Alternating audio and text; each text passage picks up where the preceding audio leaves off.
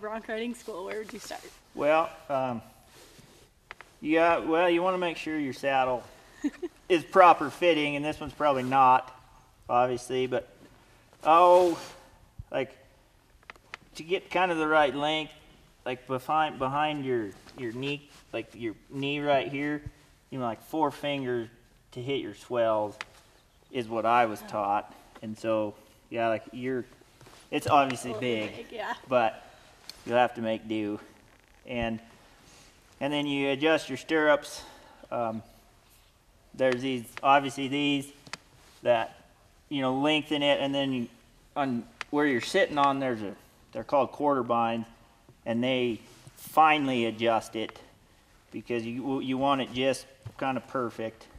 And so this is kind of a big adjustment here, and then you fine tune it with a with your quarter binds that are underneath your saddle. And then these are your front binds, and they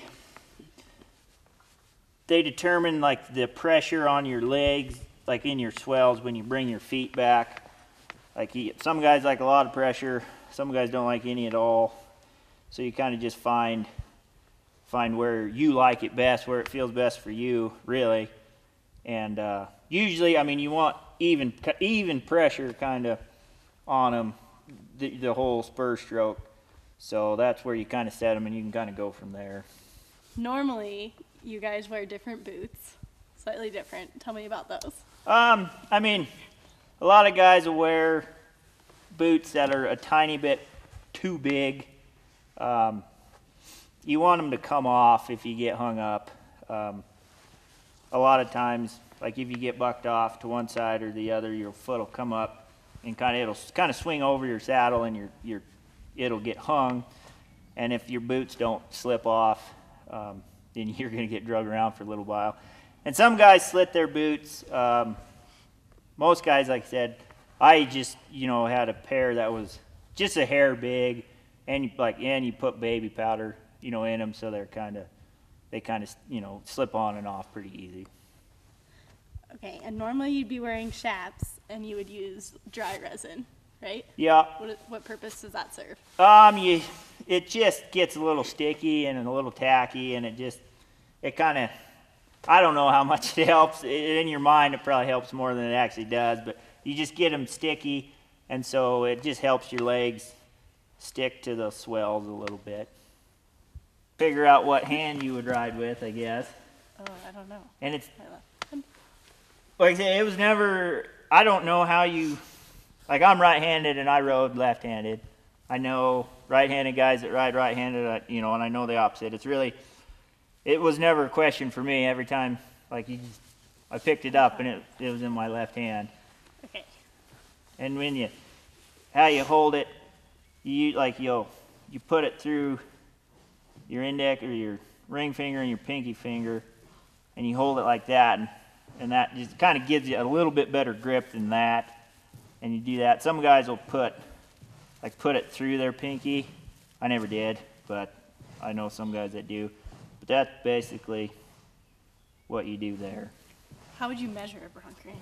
Well, when you're on a horse, when you halter them, you usually take a mane, which I guess we can show you later. Okay. Um, you pull it back to the end of their mane, you mark it, and a lot of times you can, like, you run it up over their head and you take it to their eye.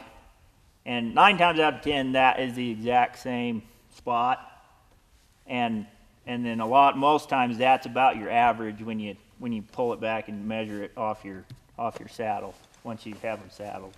Oh, Just Oh, like X know. and three, which, like I said, your your average, like when you do measure it, like you, you kind of take your average, and let's say that this is an average, and then if somebody, if you're contracted, they'll tell you what to take. If he says X and two, you know it'd be that. X one, two, three, four, like double X is that. Um, you just really you, you take whatever they they take, you know. And so if it's two, if that's your average, you go two fingers past that, and that's where you grab a hold of it.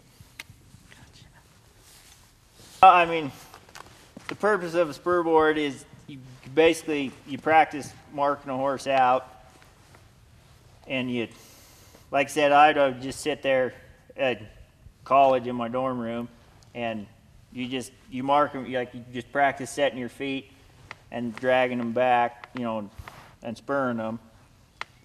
I mark out when a horse leaves his front chute or your chute, like when his front feet hit the ground for the first move or jump, like your feet have to be set above the points of the shoulder, and you have to hold them there um, through that first jump.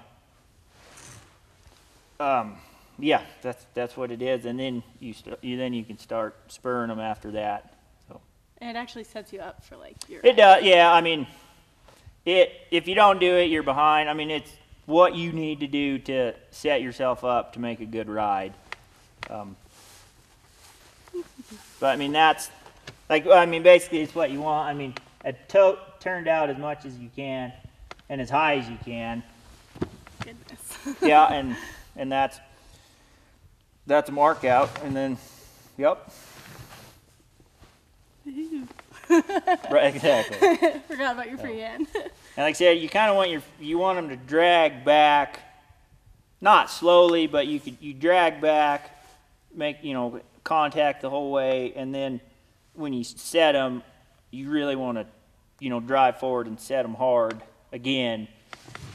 Are you actually picking your feet up? No, you don't pick them up. I mean, you kind of you want them to remain in contact with that spur board. That's it's kind of nice with the spur board. You can kind of feel and make sure that you do keep them in contact the whole way back, and then you know, like I said, end forward. You don't want them coming way out and whatnot.